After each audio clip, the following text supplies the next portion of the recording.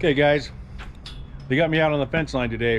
One of my foremen called in, and uh, but anyway, I thought I'd said, you know what, let's keep the ball rolling here. So, what I got my guy in, in the back here doing is uh, he's putting on what's called a boulevard band or a two-way brace band. I'm sure there's plenty other names for it than that, but uh, I come to know it as a two-way brace band, boulevard band. And what that does is it allows us to do a three-way uh, makeup, keeping all the rail all straight, you know, because you don't want to stack your brace bands up and have it looking like, you know, three different, uneven. And so this is what's happening here. As you see, Doug's got this uh, boulevard band. He's putting the nuts and bolts on or he's taking it off. Because uh, see, we want them all the same way. That's right. You got to turn it around. Because remember, we have brace bands up there they were up and down. And this is why we got the boulevard band because we got a terminal here and then we got another panel here.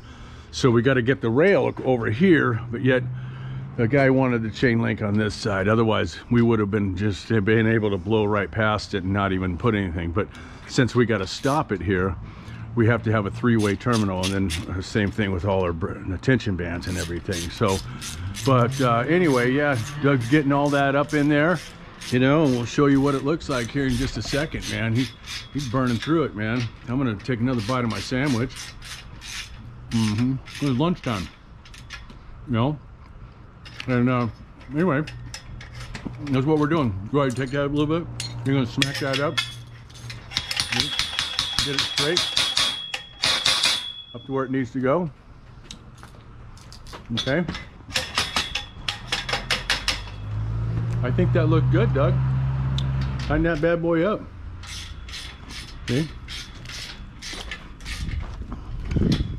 So, anyway, guys, yeah, Boulevard band, brace band, yeah. Like I said, ham and cheese sandwich. Now this, now this allows us to go. See?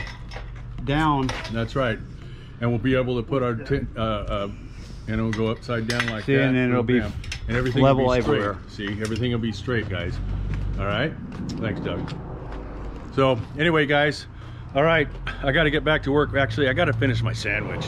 Hey, so I finished my sandwich, and I wanted to show you what it looks like when uh, finished product here. Well, almost. We still got to put some slats in, but here, check this out. so, pretty much now, I see all the top rail is all nice and straight here, guys. there's that boulevard band I was telling you about and we still got to put more slats in but see how the boulevard band comes across and this is nice and straight okay? So that's what that's what a three-way is supposed to look like guys okay? All right?